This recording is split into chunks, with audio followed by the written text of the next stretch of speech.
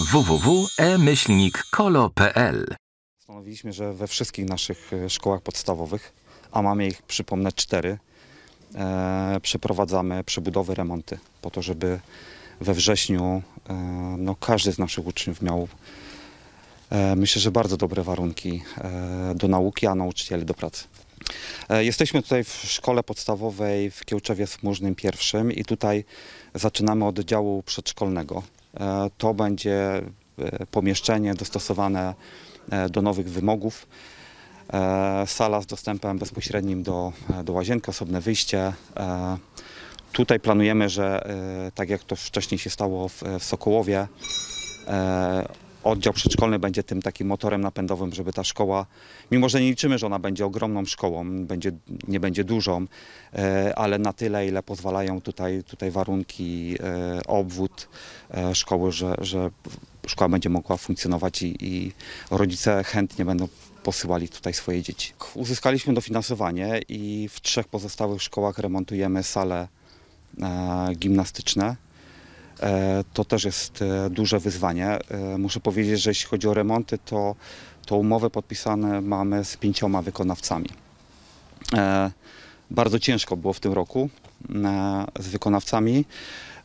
Nie wspomnę o tym, że, że ceny wzrastają, ale część udało nam się tutaj jak gdyby wcześniej, wcześniej wystartowaliśmy z przetargami, więc częściowo zabezpieczyliśmy się przed wzrostem cen, e, ale nie do końca, ale, ale kontynuujemy. W Sokołowie e, remontujemy salę gimnastyczną. Ona wymagała już remontu od, od, od kilku ładnych lat e, i myślę, że w tym zakresie, który, jest, który będzie już po tym, po tym remoncie, mm, ona już będzie spełniać te wymogi sanepid tutaj nie będzie miał żadnych wątpliwości co do funkcjonowania tej szkoły.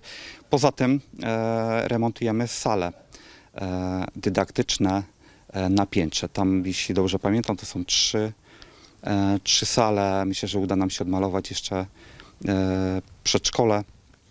E, to w Sokołowie. Natomiast we Wrzącej Wielkiej e, tutaj skupiliśmy się na elewacji zewnętrznej e, e, sali gimnastycznej e, na, na wejściu i tam też e, dostosowujemy E, Pozyskujemy jedną salę e, dydaktyczną. To wymaga takiego remontu, e, przebudowy e, ścian i, i potrzebujemy tą, tą salę. Z tego względu, że w Wyrzącej Wielkiej będziemy mieli więcej dzieci niż do tej pory, więc tam jest e, pozytywna e, taka sytuacja i, i próbujemy się do niej e, dostosować. W Powierciu e, największe przedsięwzięcie, e, remont kapitalny sali e, gimnastycznej łącznie z dojazdem, z ociepleniem, z nagłośnieniem.